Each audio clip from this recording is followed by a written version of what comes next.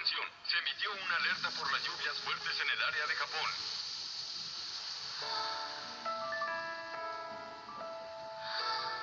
No quiero regresar a casa. ¿Te gustaría que dejara de llover? Ven conmigo. Bien, pronto se despejará. ¿A, a qué te refieres?